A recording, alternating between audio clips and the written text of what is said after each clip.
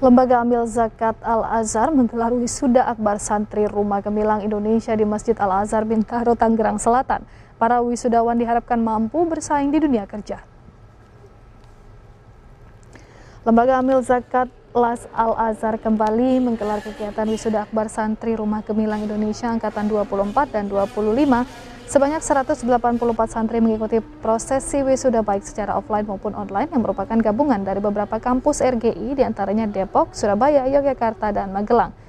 Direktur Eksekutif LAZ, LAZ Al-Azhar dalam mengatakan para santri yang diwisuda tersebut mengikuti pendidikan pelatihan selama enam bulan. Para santri RGI dilatih dari sembilan profesi keterampilan di antaranya dari keterampilan aplikasi perkantoran, teknik komputer jaringan, otomotif, kelistrikan, desain grafis, fotografi, dan lainnya.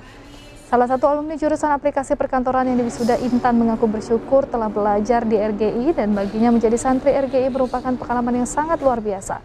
Karena tidak hanya menimba ilmu, tapi juga dapat mengubah perilakunya menjadi lebih baik, terutama dalam hal ibadah. Program RGI telah ada sejak tahun 2009 dan tahun ini menjadi salah satu solusi menekan angka pengangguran.